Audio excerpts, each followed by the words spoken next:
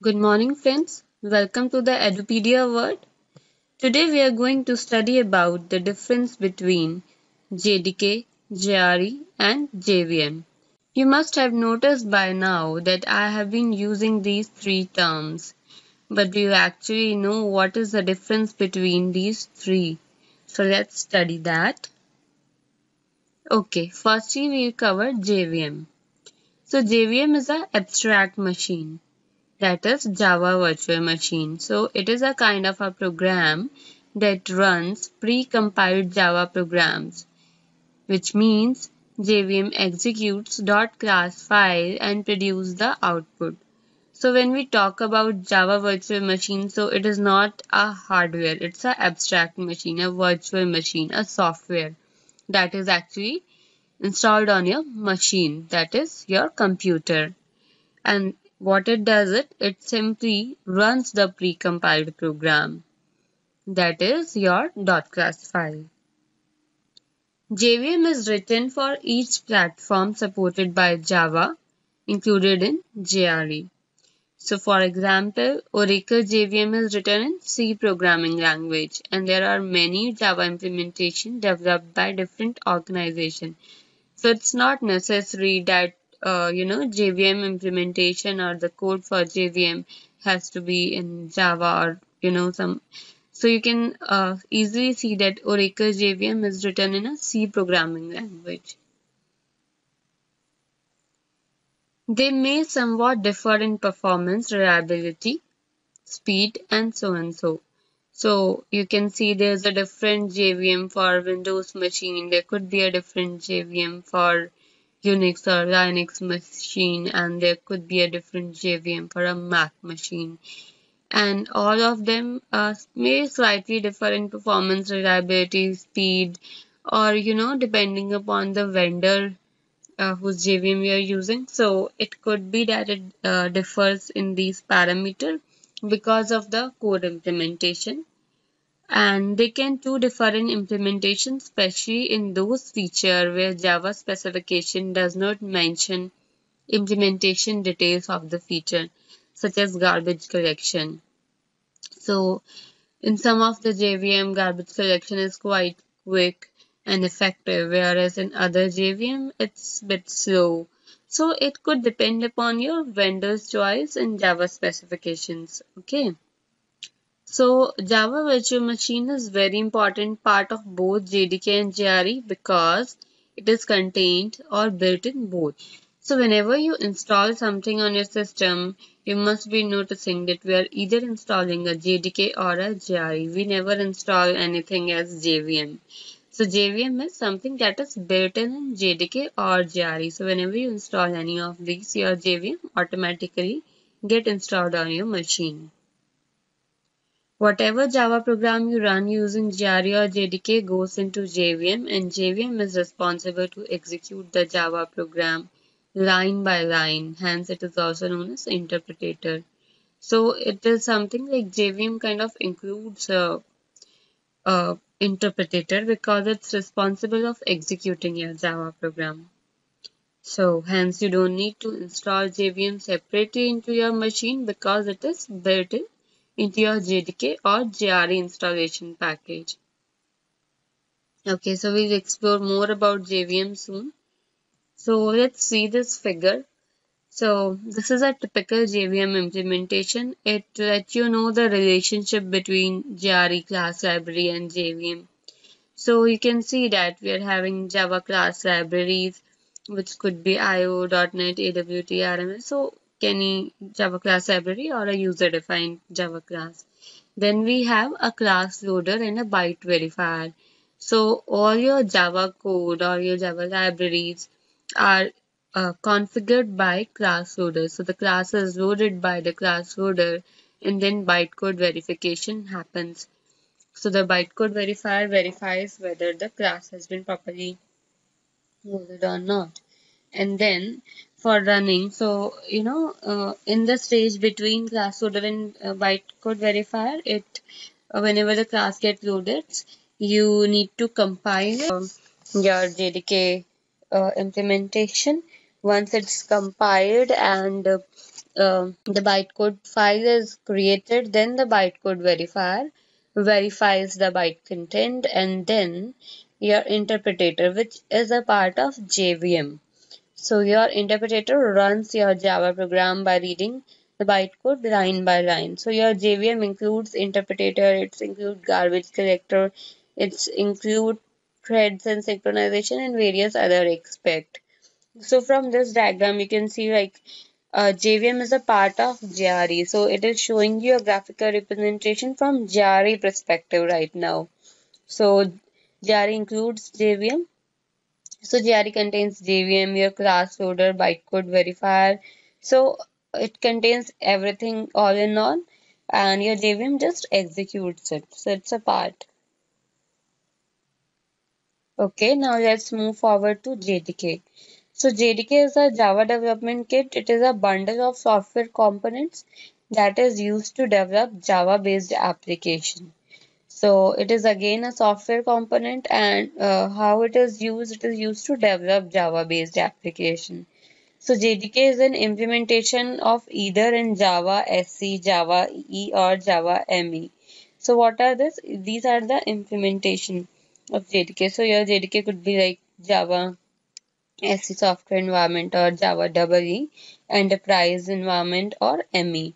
Okay, so usually uh, learners start from JDK implementation of Java SE uh, to learn the core Java features, which is also known as Java SDK. And then when you go to advanced Java, we move to Java EE.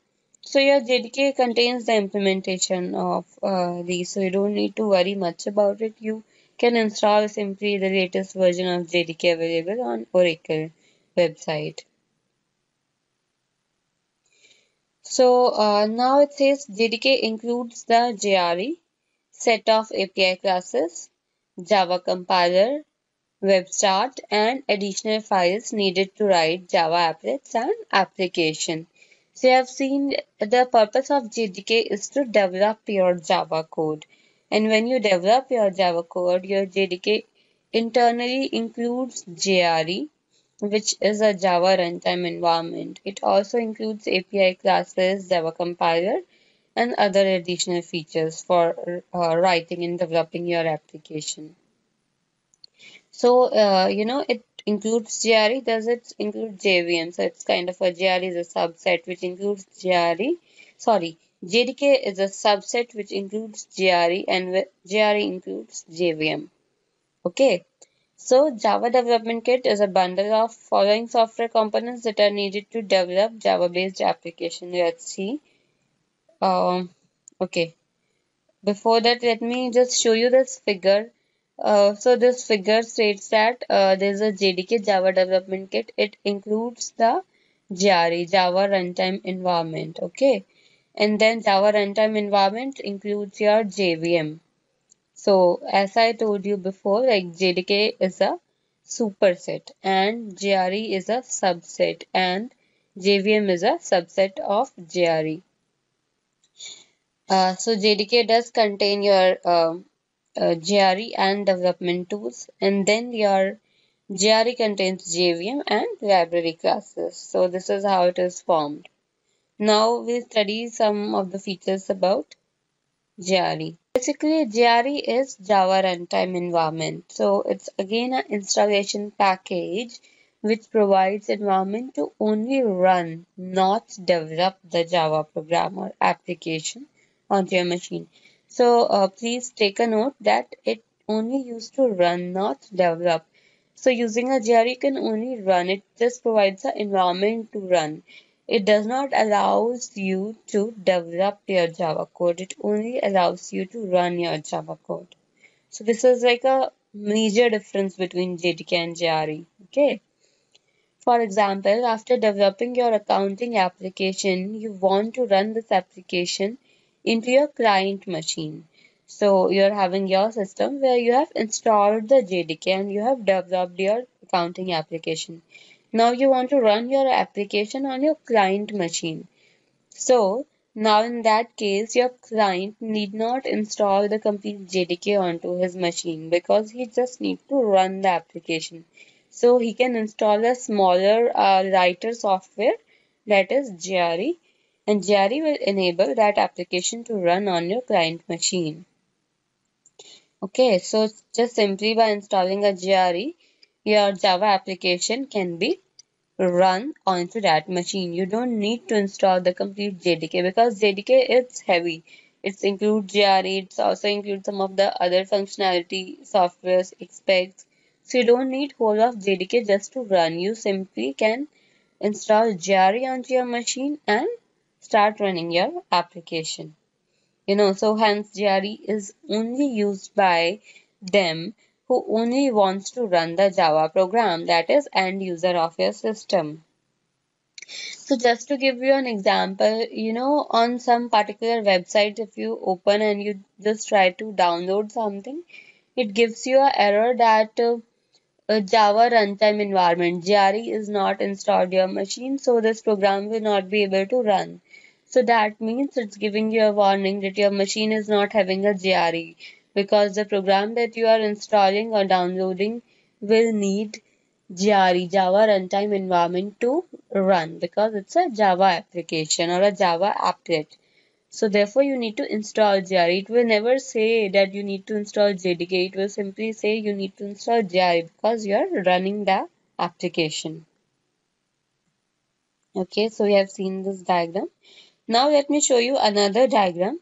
Uh, so first of all, don't get uh, don't get confused between this diagram and the previous diagram. This diagram still holds that your JDK includes JRE and your JRE includes JVM. Okay, but now let's see this diagram. This diagram says that there's a Java source code and then we have a Java development kit which includes Java compiler.